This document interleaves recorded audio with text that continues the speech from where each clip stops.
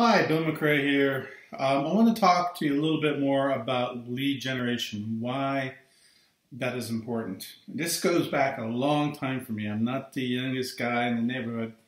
Uh, back in the late 70s, early 80s, I remember going to the library with my trusted employee sidekick, Karen, and we would scour the yellow pages in every small city town on the west part of the United States and we were looking for greenhouses and nursery uh, that had uh, addresses, and we would write them all down and we'd add them to our database, and that became our mailing database that we would print out labels and mail our newsletters and catalogs to. That is essentially lead generation back during the late 70s and early 80s. We could buy a list from a, few places. We would uh, take them, and I had a gal working for us at the time would sit down and they literally type out the mailing addresses. Um, 1980, we actually installed an IBM PC and we had a label printer, and we were finally able to put all that data into our computer, and we developed a list of about 40,000 names. It was very challenging, but we built a $100 million business as we grew to a couple hundred thousand people on our mailing list. It was a very, very effective way for us call it what you uh, you want. You know, email marketing is no different than doing direct mail, which is what we did from about 1978 until 1995 in the company that I took public in 1995. It was all done via direct direct marketing, and our library of training because we wanted to train ourselves and train our employees consisted of tapes from Zig Ziglar and Dan Kennedy and all these direct marketing people. That principle still works today. And it's called lead generation. Now, you can't go to the library and pull up a yellow pages from Missoula, Montana and pull out the nurseries and greenhouses like I did back, oh heck, almost 40 years ago now. Can't do that. I guess you could. I don't know if they even have yellow pages. But there are companies that do nothing but specialize in lead generation. Okay, lead generation is the heart and soul of every single business there is.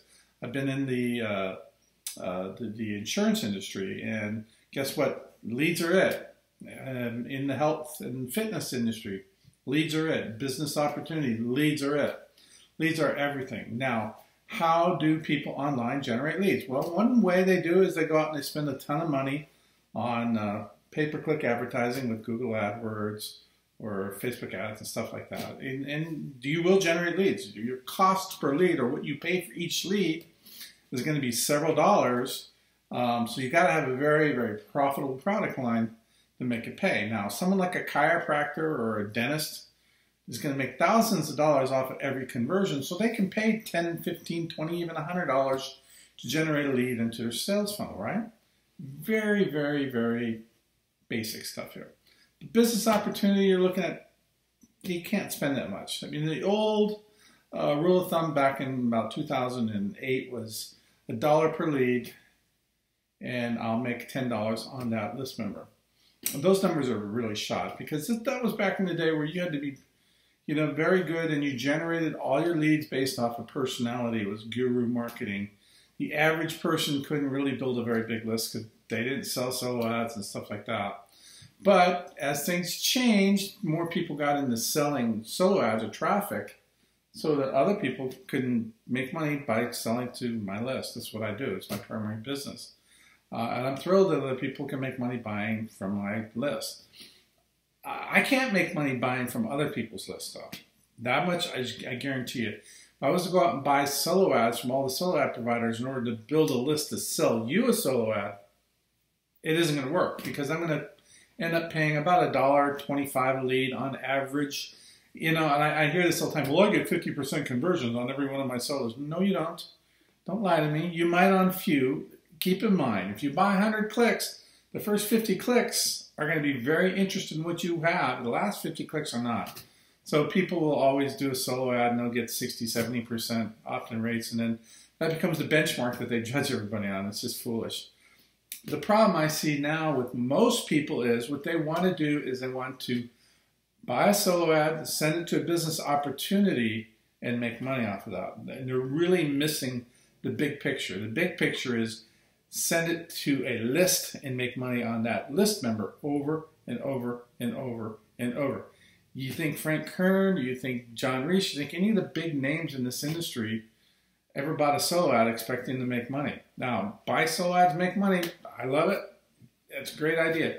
But what you're really doing, if you do it right, is you're building an asset list that you can sell to over and over and over. So for me, I don't want to have leads in my list that are already on everyone else's solo list. So I do what's called media buys. And we started a media buying, uh, media buying group called Active Pro, which other marketers, the real guys, the guys that do this for a living, um, not just playing around, build list. They buy the traffic with us, so we accumulate all our money and we, we have a person who manages our media buys. And you can get involved in that if you want, but the point is we build list. We don't try to make money off of solo ads. We like making money selling solo ads, and we certainly want you to make money buying solo ads from us. But if you were smart, you would look at ways to build your list, the lowest cost per lead, and then segment your data so as it comes into your autoresponder, you can find out what people are interested in, promote what they're interested in, give them what they want, and you can make money over and over and over on the same list. Okay. I have people when I send out an email, I have people that have been on my list for I don't know since uh, a 2010, 2012, that period. They'll email me back. They'll say, "Hey, Bill, should I buy this?" And I'll always go, yes or no. And really, I don't sell anything with my email promotions now. I promote solo ads for people. And I just explain to them, I say, I say to my list members, I'm promoting uh, solo ads, I get paid per click. If you want to stay on my list, just follow on, see what I do, learn how to do it, and go do it yourself. Why do I do solo ads versus promoting products? Well, I do promote products. When I get my leads from Active Leads Pro, um, I'm buying a lot. I'm at the lowest possible cost you can pay as a founding member, but they come into my uh, GetResponse account, and what I use GetResponse for is strictly to segment the list. There's some other videos on my YouTube channel where I show you how we determine who opens on what. But what I do in my master list is also we'll break it down by product interest. Somebody may be interested in copywriting, somebody may be interested in building blogs, somebody may be interested in building products, whatever. That's the master list. And then I promote them on that GetResponse list, but I also export those leads since I own them. And I import them into my personal uh, ESP, email service provider system that I have, which is basically MailGet tied to SMTP with my own private domain that I've warmed up over the last couple of years, my own IP, and I mail my solo ads through that. Why do I do that? Because if I was to mail solo ads through GetResponse, I'd have to have a huge list. I'd be paying for a lot of people on there, and I get a lot of spam complaints. What I use GetResponse for is to filter my data and figure out what's what. And then as soon as I take someone that's gone through the autoresponder sequence, I'll remove them and add them into my um, solo ad list. And at that point, you know, I'm looking for you to click on ads. I make a lot of money with solo ads. I love the business. I really love it. I wouldn't have spent the last three years figuring out how to build my own email service provider if I didn't love it. So here I am, I can do up to 10,000 clicks a day as the sole ad provider. Sometimes it's easy to sell that much, sometimes you end up with the 500 clicks.